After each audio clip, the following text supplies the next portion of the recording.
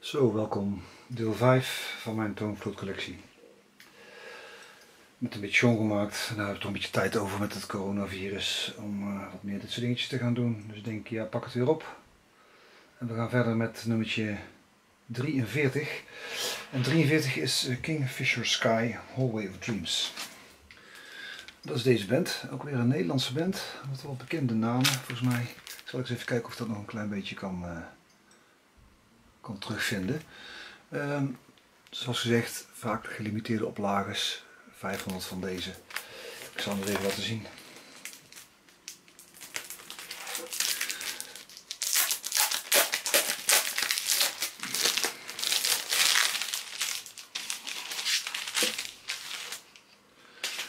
Hall Dreams, ik dacht ook weer een klein beetje dat de glossie, zeg maar, de vogel en de, en de naam van Kingfisher Sky Gatefold. Dubbel LP. Eens kijken of hier nog wat in zit. Of ik wat namen terug kan vinden eventueel. Kingfish Sky, Judith Rijnveld, Daan Jansink, Edi van der Kolk. Eh, nee, niet echt bekende namen voor mij. De teksten van de liedjes je hebt al gezien, er zit ook een eh, bonus single bij.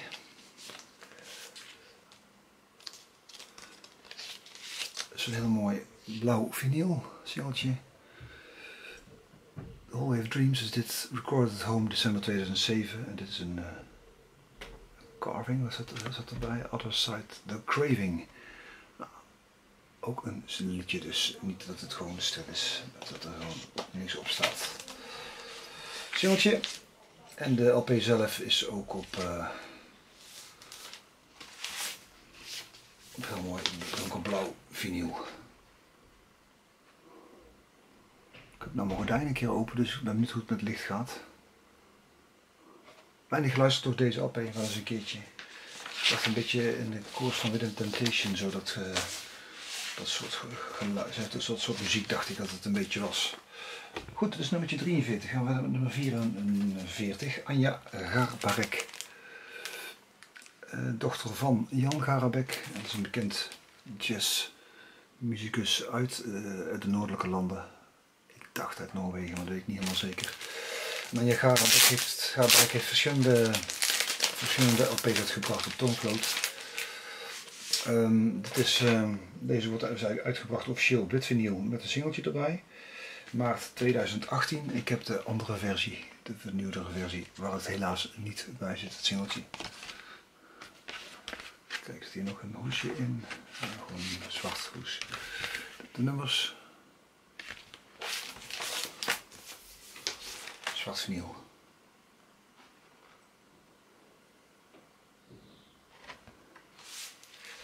ja, Garbrek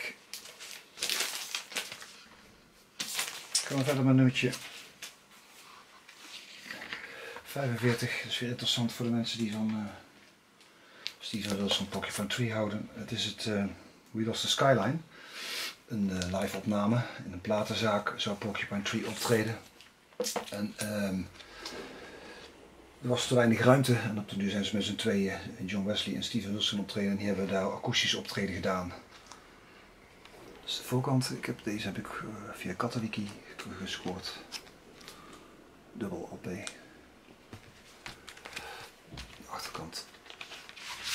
Ik heb de, speciale versie heb ik, dus de deze.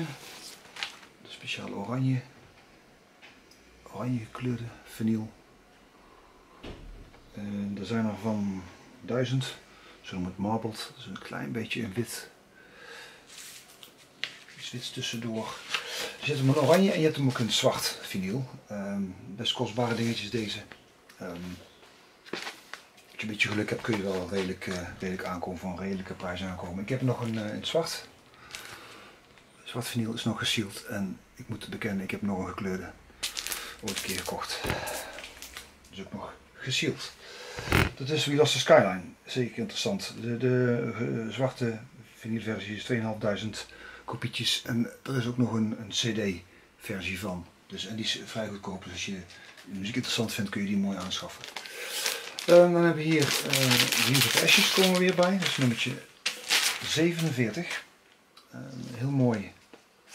Beetje vloersachtig gevoel. Buitenhoes.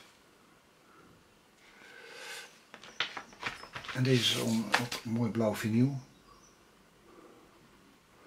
De ene kant is Use of Ashes en uh, Ice van het uh, album uh, 67. En de andere kant is de Mouse Hill Base Communion Reconstruction januari 2008. Ik hoop dat jullie kunnen lezen. Zeer mooi exemplaar. Ehm, deze is uitgebracht op 10 eh, inch. Als je ziet 100 kopieën in clear vinyl en oranje vinyl 250 en blue vinyl ook 250 kopietjes van geperst. Gaan we verder met nummertje 48. Het is Schoolyard Ghost van No Man, speciale versie. En dit is de normale versie. Ehm, die is later uitgebracht geloof ik ook. Gewoon een dubbel LP op zwart vinyl.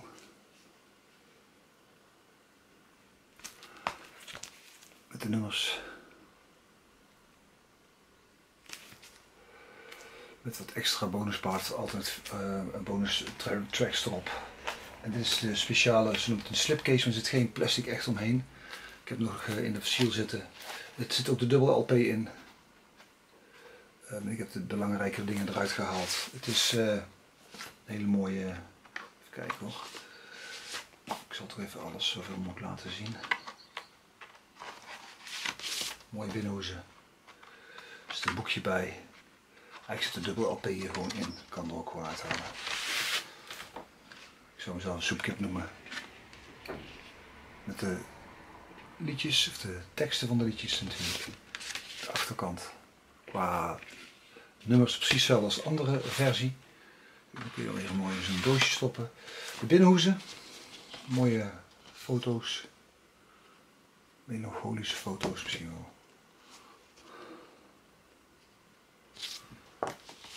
Zwart-wit. Mooi album trouwens weer, van moment. En deze is gemaakt op uh, beetje wit gemarbeld, noemen ze het. Marbled vinyl weer, ja, gemarmerd vinyl. En dit lijkt echt op marmer, dus uh, qua kleur ook. Mooi vinyl. Tweedubbel. Die andere laat ik even niet zien. En daarbij zit dan nog een single. Uh, ook die is op wit vinyl. Schoolyard Demos heet die.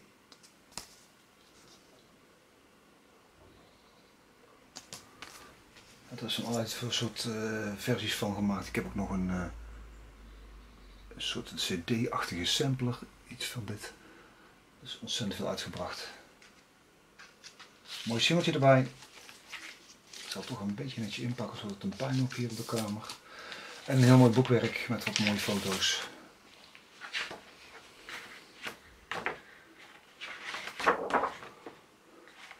Een beetje in de stijl van uh, Fear Plank Planet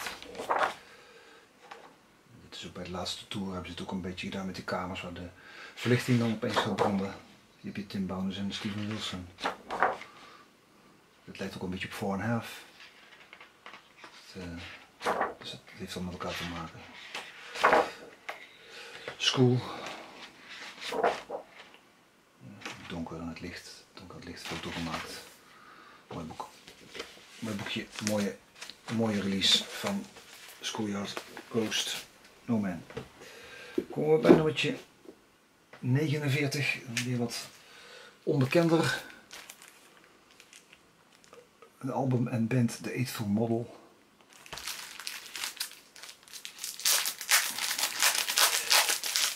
Het is goed om KPT Michigan op LP te zien. As Michael Beckett. ik heb een keer opgezocht KPT Michigan, volgens mij is die, dacht ik al overleden, heel jong, maar ontzettend veel uh, muziek uitgebracht. Pas, pas uh, artwork, ook weer een beetje glossy. Deze op zwart vinyl, deze uitgebracht uh, november, 4 november 2008, 500 kopieën van gemaakt, geperst. Persen geloof ik, dacht ik in Leeuwarden. Dacht ik dat ze daar de persing doen van deze met label.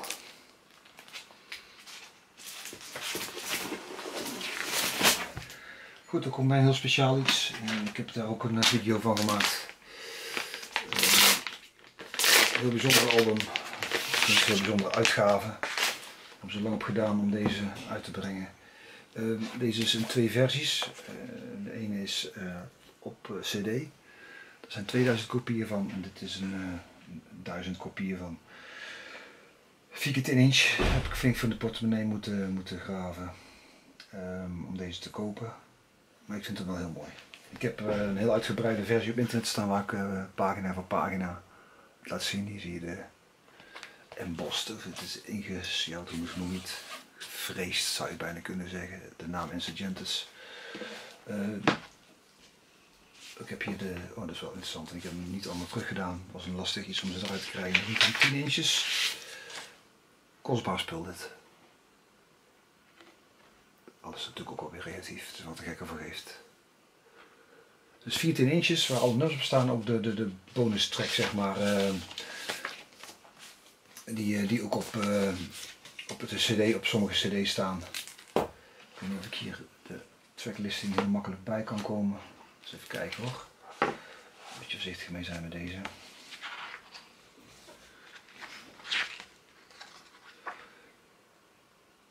dus Port Rubicon, Puncture Wound, Collecting Space en Insurgentes Mexico staat hierop op vinyl. Wil je er meer van weten, dan verwijs ik je naar mijn andere video. Zo, Insurgentes, heel speciaal.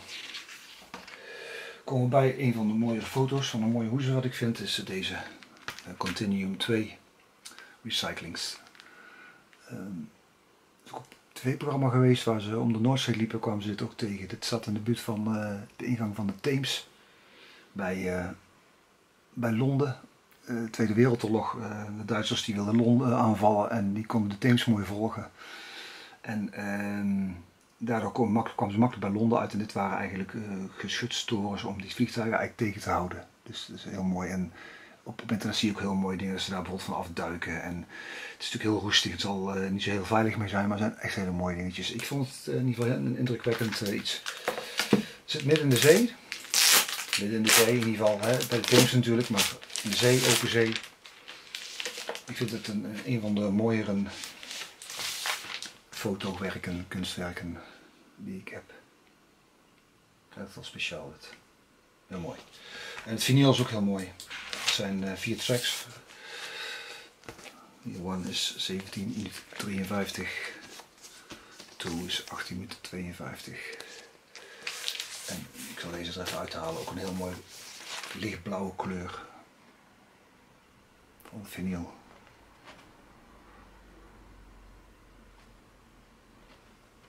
Zeker een mooie, een aanrader waar nog heel goed aan te komen is moet ook wel een beetje van de muziek houden. Hè. Zoals ik al zei, Base Communion is, is aparte muziek. Het lijkt een beetje op Base Communion. Drony-achtig. Ook weer uh, met Dirk Series en Justin Key Broderick. En Justin Key Broderick is weer van Jesus of Godflesh of zo, een van die bands, vrij heftig. Ook zeer interessant uh, iemand om, uh, om te leren kennen. Ik ga er een eind aan breien aan het deel. Ik klets misschien iets te veel. Um, maar goed, 14 minuten zitten we nu op. Ik ga toch even de ramen die doen en kijken of de belichting iets anders kan. Nou, uh, dit was deel 5. Op naar deel 6. Ik ben toch benieuwd of we het binnen de 10 delen kunnen halen. Zal wel lukken, denk ik. Groetjes.